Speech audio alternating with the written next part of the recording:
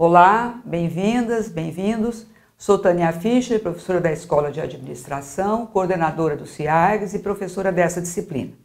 O Centro Interdisciplinar de Desenvolvimento e Gestão Social acolhe com muita alegria este curso. Destaco que, para nós, é também a experiência de construção de um modelo de formação interdisciplinar, transcultural, considerando que vocês são representantes de todas as regiões do país. Vamos integrar um curso em EAD com residência social e professores de diversas disciplinas em um mesmo propósito formativo. Este curso é um exemplo de organização de ensino que é também uma interorganização. Tem gestão compartilhada e cooperativa com a Caixa, com vocês. Na UFPA estamos articulados com o serviço né, de ensino à distância, que compartilha conosco essa produção. Esperamos a colaboração de todos. O objetivo desta disciplina é integrar conhecimentos e vivências no desenvolvimento social de territórios a partir da discussão dos papéis de organizações, das interorganizações e das instituições que, em ação conjunta, realizam a gestão de espaços e escalas territoriais que podem ir do micro ao macro. A disciplina propõe-se a contribuir para compreender o território como contexto de transformações e crise da contemporaneidade problematizando o papel dos indivíduos como gestores de si e de coletivos territorializados. Na unidade 1, vamos desenvolver os sentidos e significados em contexto de crise e transformações da contemporaneidade, os indivíduos como gestores de si e de coletivos. Caracterizar a gestão como campo de conhecimentos interdisciplinares e de práticas compartilhadas, o que agrega os significados e os sentidos da gestão como expressão social problematizar a gestão social em contexto de crise, distopias e novas utopias na contemporaneidade.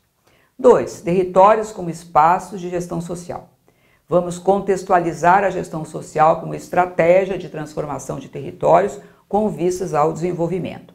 Compreender a gestão social como ações exercidas em esferas e escalas socioterritoriais que vão do micro-local, gestão de si, aos coletivos eh, locais, transnacionais, globais, virtuais. Por exemplo, uma agência bancária é uma organização no seu território e uma interorganização que integra a macroorganização Caixa, que por sua relevância histórica, protagonismo e tradição, é uma instituição, como veremos na primeira unidade, que discute o território como espaço de gestão no contexto da contemporaneidade e os indivíduos como gestores de si e de coletivos territorializados orientados ao desenvolvimento. Os objetivos da unidade 2 serão compreender interorganizações e instituições como criações sociais de alta complexidade articulados por poderes transescalares, interesses convergentes ou em disputa na formulação de políticas territoriais como a de habitação. Identificar estratégias de gestão social na solução de problemas de desenvolvimento territorial de forma crítica e propositiva formular proposições para a concepção de diretrizes e ações traduzidas em programas e projetos de desenvolvimento territorial. Identificar competências do gestor social de territórios. Na segunda unidade, vamos refletir sobre sentidos e significados dos conceitos de organizações, interorganizações, instituições e identificar as estratégias de gestão social e competências deste gestor social. Esta disciplina é integradora das disciplinas anteriores em que se discutiu o indivíduo, o Estado e a sociedade, e a economia para o desenvolvimento, entre outros temas.